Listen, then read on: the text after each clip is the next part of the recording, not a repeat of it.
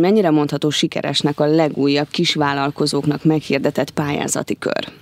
Nem csak a kisvállalkozóknak, hanem a mezőgazdasági termelőknek is meghirdetjük a pályázati kört hiszen a zárt rendszerű zöldségtermesztés, az állattenyésztés, a gyümölcstermesztés is újra pályázható kategória volt.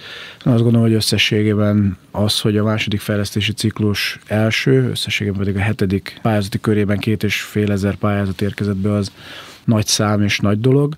Különös tekintettel arra, hogy a legnépszerűbb mezőgazdasági gép és kapcsolató eszközpályázatunk kiírása sem került ehelyett a munkaintenzív növénykultúrák, illetve munkaintenzív mezőgazdasági tevékenység támogatását helyeztük fókuszba.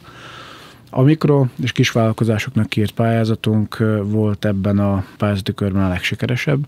Összességében közel ezer pályázat érkezett be, 950 környékén, ami azt jelenti, hogy van kis vállalkozói réteg itt a Vajdaságban, magyar vállalkozói kedv és magyar vállalkozói réteg, itt a Vajdaságban, és ez azt gondolom, hogy nagyon fontos. Régen írtunk ki nekik pályázatot, utoljára ezért is gondolom, hogy ez sikeres volt, de emellett meglepően nagy számú az állattenyésztők pályázatára, kiírt pályázatára beadott beadványok száma, 700 kör, körüli, megugrott a gyümölcstermesztésre beadott pályázatok száma, eddig volt talán Összességében 90 projektünk, és most 300 környékén érkezett be, ami azt gondolom, hogy gyönyörű szép szám. Emellett házpályázatunk is közel 300 volt, 284, ha jól emlékszem. Azt gondolom, hogy ez viszont egy kiegyensúlyozott uh-huh. pályázati kategória, körülbelül ennyi volt eddig is picit talán most több is, és a mezőgazdasági, az intenzív növényi kultúrák, tehát a munkaintenzív növényi kultúra termesztésre zárt rendszerű növénytermesztésre is 100 fölötti pályázat érkezett be, mert azt gondolom, hogy szép szám sikeres a pályázati kiírás. Az elmúlt évekhez képest egyszerűsödött az átadás és az elbírálásnak a folyamata? Hát azt gondolom, hogy mindenki rutint szerzett, a pályázó kollégák, illetve a, a szakmai értékelők is próbálják egyszerűsíteni a folyamatokat, viszont ugye minden pályázati feltételt és körülményt ellenőrizni kell, ezt dokumentumokkal kell alátámasztani, és mi nem vagyunk állami szerv, mi nem tehetjük meg, hogy hozzáférünk dokumentumokhoz, adatokhoz, mint ahogy az mondjuk Magyarországi vagy EU-s pályázatoknál adott lehet ezért be kell kérni őket, de amiben csak lehet rugalmasak vagyunk, ahol gond jelentkezett, azt áthidaltuk. Én azt gondolom, hogy a folyamatos nagyszámú pályázat azt jelenti, hogy nincs különösebb gond a pályáztatásban.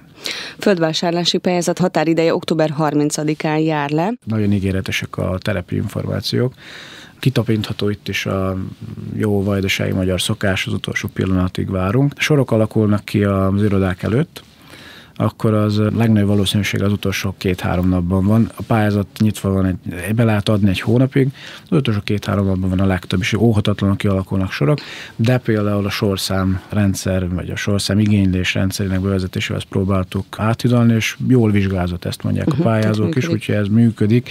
Meg kell még szokni, hozzá kell szokni, finom hangoljuk, de nem működik. Úgyhogy a július 31-ig, amíg a többi pályázat nyitva volt, összesen két földvásárlási pályázat érkezett be, azóta már több tíz van, és abban bízom, és úgy látom, hogy relatív sok pályázat érkezik még itt az utolsó hónapban is. Én sokkal sikeresebb földvásárlási pályázatra számítok, mint ahogy ez az elmúlt két évben volt, illetve két kiírásban. Itt mekkora összegről beszélünk? Igazából itt az összeg az mellékes. A beadott pályázatok vonatkozásában az igényelt, a megvásolt földterületekre megadható támogatás vonatkozásában az lesz a cél, hogy minden formailag teljes jogosult és szakmailag a minimumot elérő pályázat támogatást kapjon. Be van-e az határolva, hogy mely térségek kaphatnak vagy kapnak földvásárlási támogatást? Nincsen ilyen behatárolás, egész vajdaság területén lehet földet vásárolni a föld kataszteri minőségének, vagy ahhoz köthető árát és az ehhez köthető támogatás mértékét határoztuk meg, annak érdekében, hogy minél kevésbé jusson bárkinek eszébe a visszaélés. Nem mhm. jellemző, de szeretünk a dolgoknak elébe menni illetve a föld értékbeslését is bekérjük, és a pedológiai jellemzőket is be kell írni ebbe az értékbeslésre annak érdekében, hogy a ennek a fölülvizsgálata meg tudjon történni, tehát piaci áron kerülnek el a a, a földek és a pályázás, az adóforintok biztonságban legyenek. Mekkora összeget terveznek még gazdaságfejlesztési programra fordítani? Az volt a felterjesztés és az a megállapodás, amit Pásztor elnök úr, miniszterelnök úr, Szijjártó miniszter úr is említettek, illetve Magyar Levente miniszterhelyettes úr, hogy itt a következő négy évben az eddigi első fejlesztési ciklusban felhasznált összenek szinte a duplája rendelkezésre áll majd. Ez ilyen 40 milliárd forintnyi visszanemtérítendő támogatást jelent kerekítve. Ez természetesen akkor valósulhat meg, hogyha lesznek projektek, pályázatok, amelyek megállják a helyüket. Tehát ha lesz igény, akkor Magyarország kormánya, és ezt az elmúlt három év tapasztalatából is mondhatjuk, a forrásigények biztosítására törekszik. És most egy kicsit más vizekre vezünk, de maradunk még a Prosperitáti Alapítványnál. Egy pár hónappal ezelőtt az online képzésről számoltunk be, szintén az ön segítségével. Mik az észrevételek ezzel kapcsolatosan? Ez egy olyan rendszer, ami költséghatékony, borzasztóan gyors, és aki szeretne vele élni, az nagyon könnyen ki tudja használni ezt a lehetőséget. Nem győzöm hangsúlyozni, hogy nagyon, nagyon szakmai, jó anyagok állnak rendelkezésre, teljesen ingyen térítésmentesen. Folyamatban van a 23 témakör csoportosítás általi akkreditációja, a megfelelő felnőttképzési tanúsítvány biztosításának érdekében. Azok, akik eddig letették a különböző modulokat, vizsgákat, meg fogják kapni a, az akrétást követően a információt, hogy milyen dokumentumokat kell még biztosítani ahhoz, hogy hivatalos dokumentumot tudjanak szerezni. Ez meg fog történni a közeljövőben. Terveink szerint ez a 23 modul 5 témakör köré csoportosítható, és ez az öt témakör ad majd egy teljes egész tanúsítványt. Arra is törekszünk, hogy résztanúsítvány kiadható legyen. Én azt gondolom, hogy nagyjából az a 700-800 egyéni felhasználó és a 3000 lezárt modul az azt jelenti, hogy éltek a lehetőséggel, és további céljaink vannak, szeretnénk ezt nyitni, és szeretnénk tovább kihasználni. De kik azok, akik leginkább érdeklődnek az online gazdaképzés iránt? Tehát most itt gondolok akár fiatalok, középkorosztály, vagy az idősebbek. Nyilvánvalóan a fiatalok sokkal előbb kihasználták ennek a lehetőséget, de szépen lassan az idősebb korosztály is részt vesz ebben a, a programban alapvetően a prosperitáti rendszerében lévő és az ötödik pályázati körben az integrátorokra rákapcsolódó pályázók azok, akik igénybe vehetik. Ezt szeretnénk, amint a jogi feltétel is megteremtődnek, megnyitni a többiek számára is. Mentor program is elindult, milyen tapasztalataik vannak? Hát ez egy nagyon érdekes, nagyon érdekes program, és nagyon üde színfoltja a tevékenységünknek. A Nemzetpolitikai Államtitkársággal közösen egy dolgoztunk egy programot, a Design Terminal szakmai felügyelettel mellett zajlik. Az alapkoncepció az az volt, hogy az itt lévő közép- és nagyvállalkozói réteget hozzuk be a rendszerbe, készítsük fel őket, hogy mi a mentorálás, hogyan tudják az általuk megszerzett hatalmas tapasztalatot és tudást átadni a kisebb vállalkozóknak, anélkül, hogy be kell beleznék őket, anélkül, hogy megijesztenék őket, anélkül, hogy konfliktus alakulnak ki közöttük óhatatlanul, mert hogy ez minden megtörténhet. Tehát, hogy felkészítsük őket, hogy hogyan legyenek mentorok. Egyébként közel 30 mentorunk van, mentorjelöltünk van, akik, akiket képezgetünk, és hamarosan következő lépésben a 90 bejelentkezett potenciális mentor által összekötjük őket, akik pedig hát szeretnének ugye előre jutni a üzleteikben.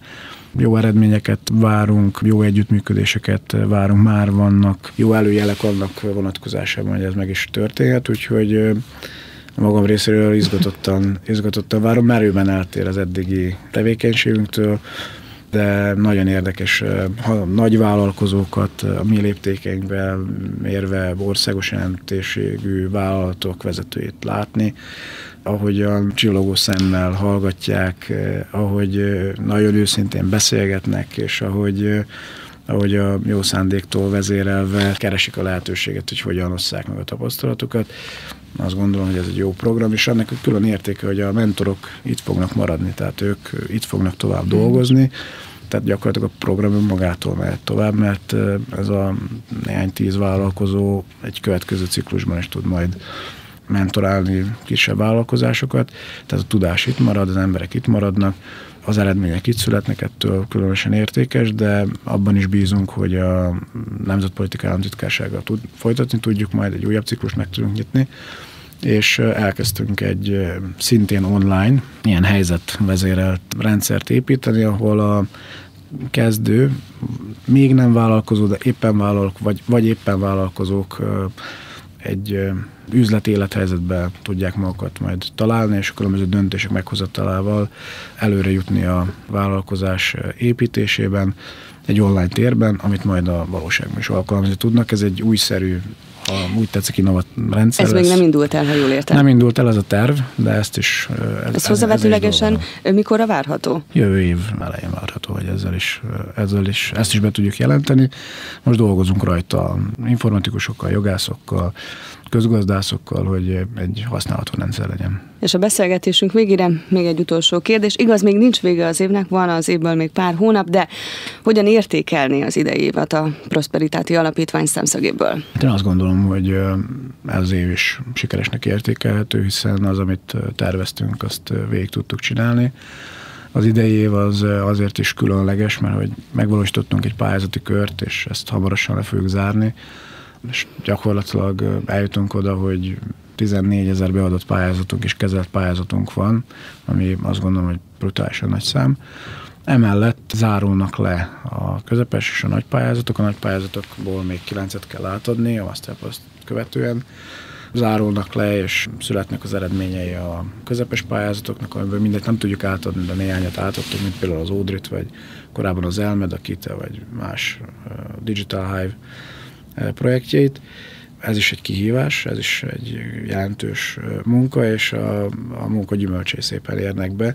Úgyhogy ez az év ezzel is az alapítvány számára összetettebb, gazdagabb, lehet, hogy ezek a dolgok annyira nem szembetűnőek, mert hogy igazából a, az elszámolás és a projektek lezárásnak folyamata az, az alapítványon belül történik, de nekünk ez hatalmas munka, és ennek egy-egy megnyilvánulási formája, amikor ünnepélyes keretek között átveljük a szalagot, ami azt gondolom, hogy mindenkinek jó érzés.